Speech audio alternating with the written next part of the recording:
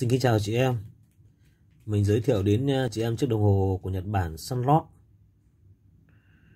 À, Đồng hồ có cái viền tròn khoảng 24mm 3 kim cộng vạch chỉ giờ mạ vàng 18 carat mặt số màu vàng nhạt.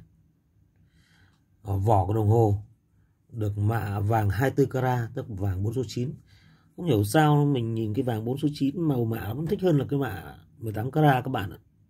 Hay là nó có giá trị hơn thì không biết.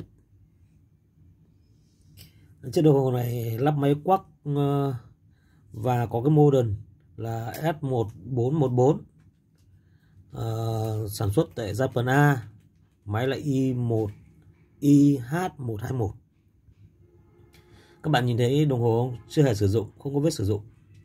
Đấy uh, dây của đồng hồ là dây thun loại dây thun rất chi là tốt luôn ấy. Đây mình xem nào. Đây là dây thun Maruma. À, loại dây có cái chất lượng rất chi là tốt trong làng thun của thế giới.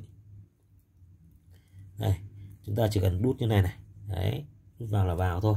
Rút ra cũng rất chi là dễ dàng. Nó nhẹ nhàng như đẩy một xe hàng luôn. Đấy đồng hồ tổng quan mình đánh giá như thế này.